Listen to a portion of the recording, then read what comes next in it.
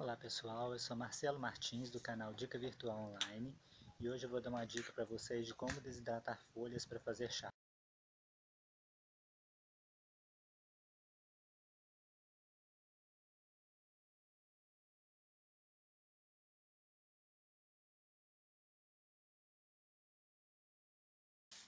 Uma das folhas escolhidas é a folha do pé de graviola.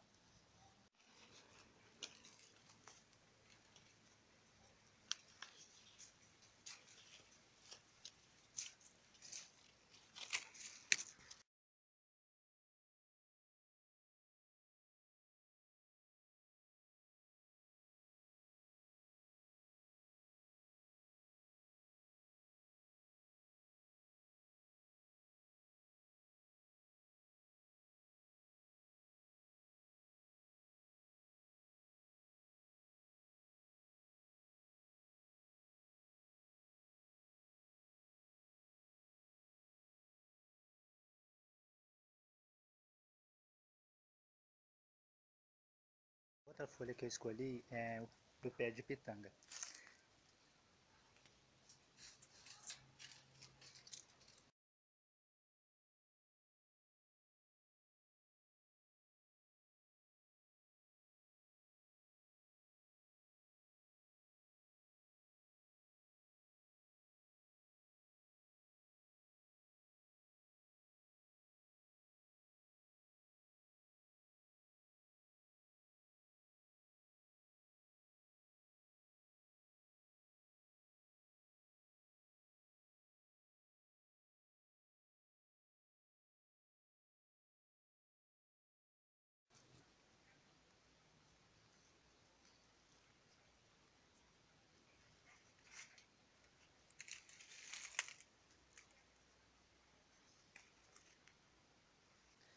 E a última escolhida é essa aqui, ó. É o pé de amora. Ela está até com algumas amorinhas.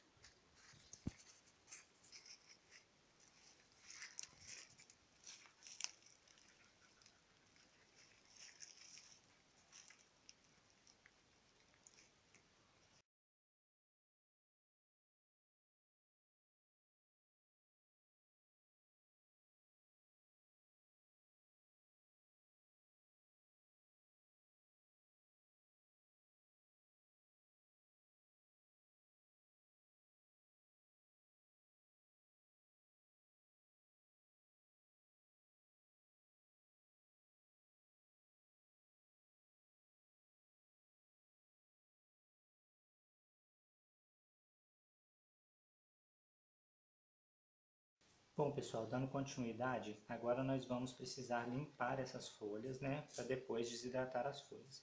Eu uso um pouquinho de vinagre na água. E eu vou colocar elas aqui dentro.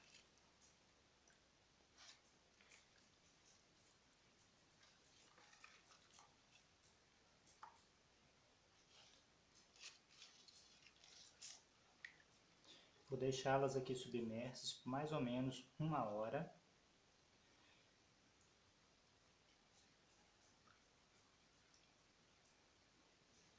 De vez em quando vocês vão virando as folhas, né? Para que todas as folhas recebam bastante desse líquido para descontaminar ela.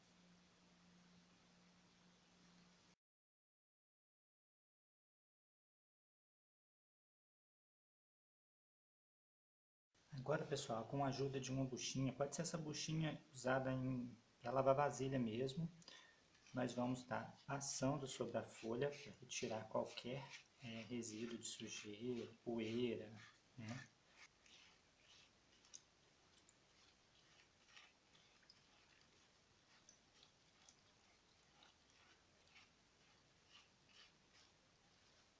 Com a ajuda de um papel toalha vai tirar o excesso da água. Vou colocar nossa folha para lá.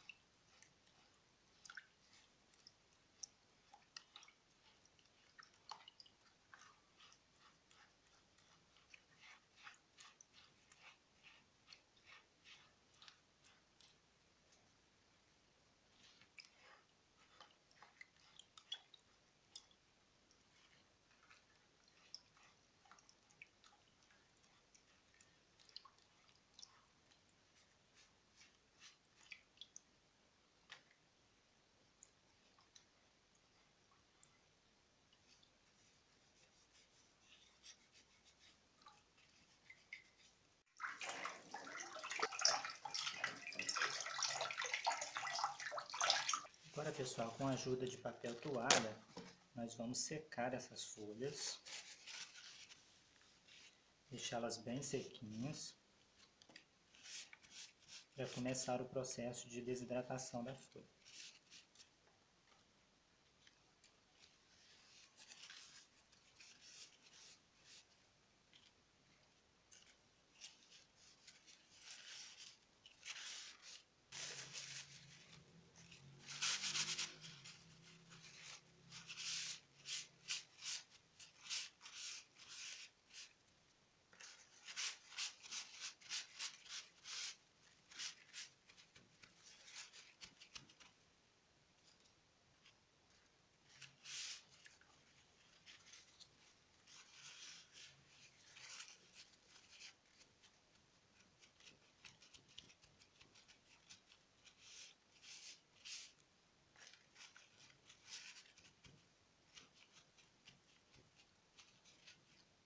Agora, pessoal, eu uso um prato, ou você pode usar qualquer outro recipiente que você tem em casa. Eu coloco uma folha de papel toalha no fundo e eu coloco as folhas para desidratar.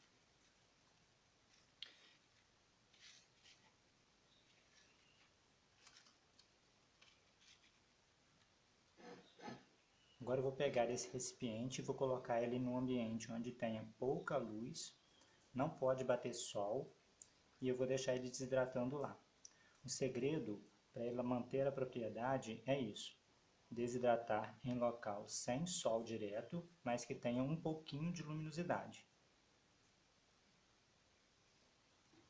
Da mesma forma que eu fiz com a folha de amora, eu vou fazer com a folha da graviola. Papel toalha e eu vou colocar elas aqui, uma separada da outra. E também vou colocar no mesmo local para desidratar. E por último, pessoal, a folha da pitanga. São essas folhas pequenininhas. Vou colocá-las também separadas. Como sobrou espaço, vou colocar essa folha da amoreira, da amora miura, para desidratar também.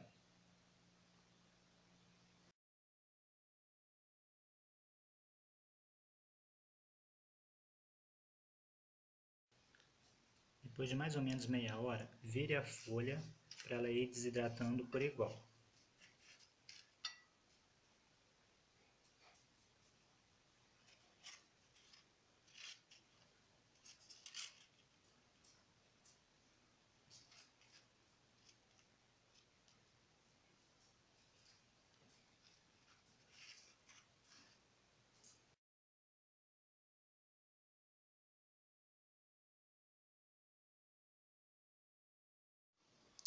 Depois de quatro horas, a folha da amoreira já começa a apresentar sinais que ela está começando a secar.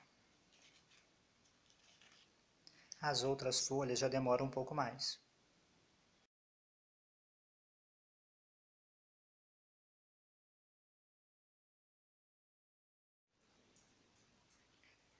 Depois de sete horas, as folhas já estão bem sequinhas e amanhã de manhã eu já vou poder amassar elas e fazer tipo um pozinho para poder guardar esse chá e durar mais tempo. É interessante que a propriedade medicinal do, da amora ele não perde se for desidratado dessa forma.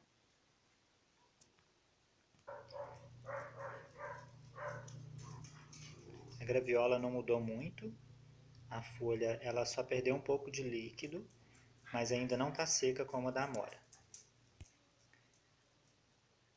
A folha da pitanga também não mudou muito ainda, mas olha a diferença com a folha da amora.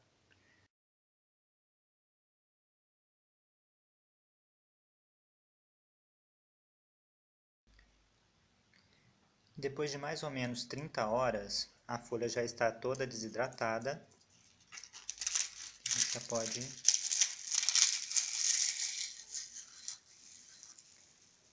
quebrar e fazer o pozinho.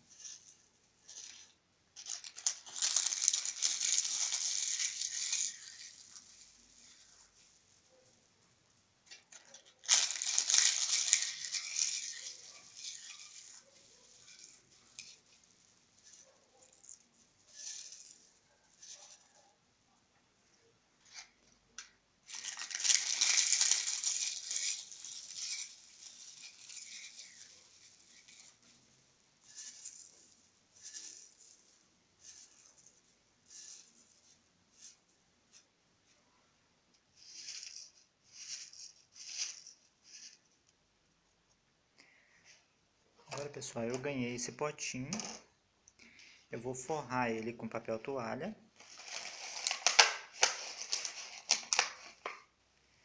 E eu vou colocar as folhas sequinhas aqui dentro.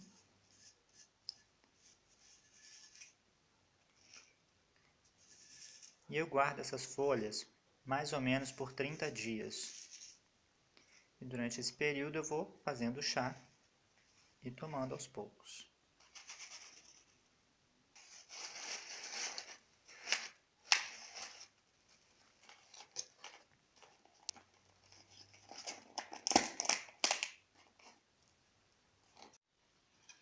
A folha da graviola já está desidratada e a da pitanga também. Aí para conservar essa folha, você pode rasgar, que ela não quebra como a da amora.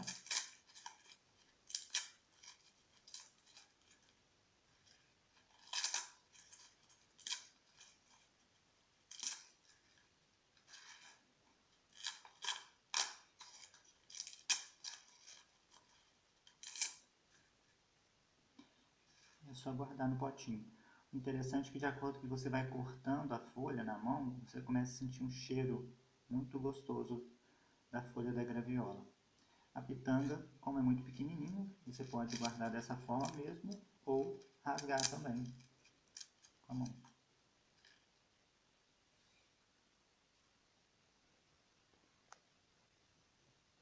Agora para fazer o chá, é só você ferver a água, colocar em um recipiente colocar as folhas, abafar por 30 minutos e o chá está pronto. Se você gostou do vídeo, dá um joinha, se inscreve no canal para receber as próximas atualizações. Até a próxima, pessoal!